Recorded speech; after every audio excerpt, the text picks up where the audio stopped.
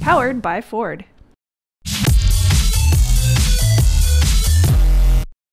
Hey guys, it's Shannon Morse from Hak5 again, coming to you from CES 2012, and I have found one of my favorite companies in the world, MakerBot. Yeah, so what's up, Bre? How's it going? Thank you for joining me. Hey, great to have you over here.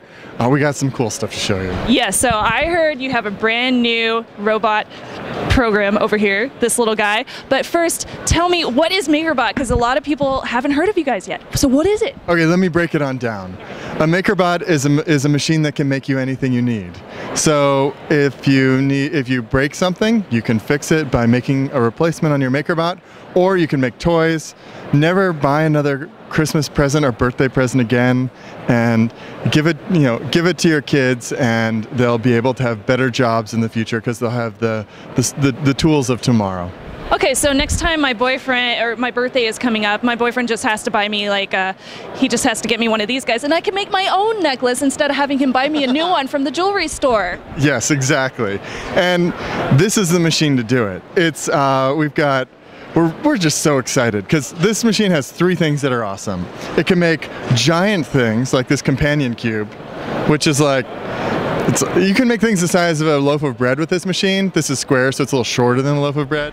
What are the full dimensions of it that it can make? It's nine by six by six. It's about nine by six by six inches, so boom. And then the other big thing is you can make things in color. So we've got, you can make things with two colors. And then the other big deal for us is up until now, when you're going to MakerBot, you have to put it together. No more.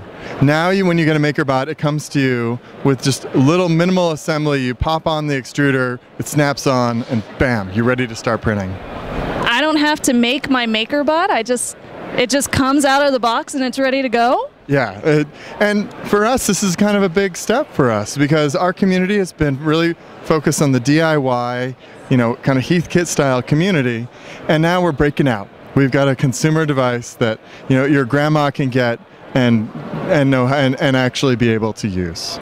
So how easy is it for me to build say I want to do like a unicorn model? Is are there downloadable models that I can use?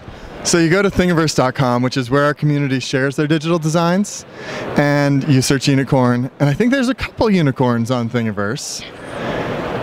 There might be another kind of a corn as well.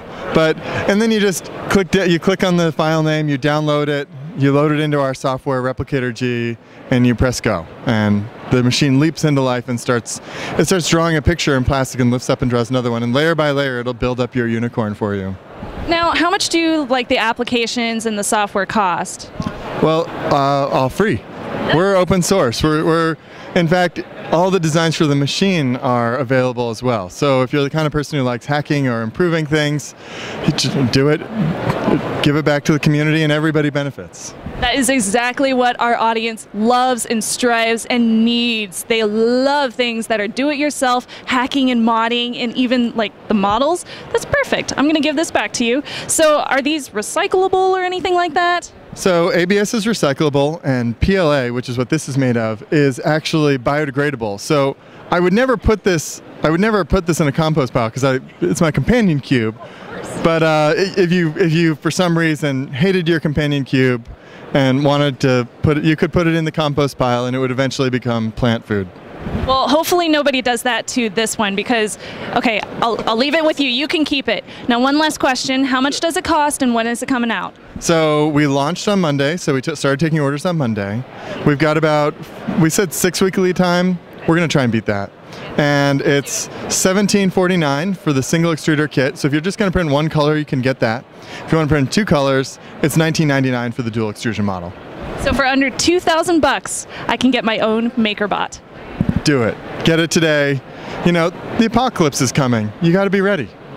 That's true. It is 2012, and I'm coming to you from CES 2012. You can find all of our Revision 3 coverage, including the Maker, MakerBot, over at revision3.com/ces. Hey, where can people find more information on this guy? Go check it out at makerbot.com and cruise all the things that you can make at thingiverse.com. Awesome. Thank you so much, Bre. Thank you so much for making me check out this MakerBot replicator. This is awesome. Pound it. All right. Thank you, Ford, for powering our CES coverage. In the 2013 Ford Mustang, selectable EPAS allows the driver to choose between normal, comfort, and sport modes to change steering effort required and road force feeling. And Advanced Track Electronic Stability Control gives you four options of traction control. Thanks to Ford for our CES coverage.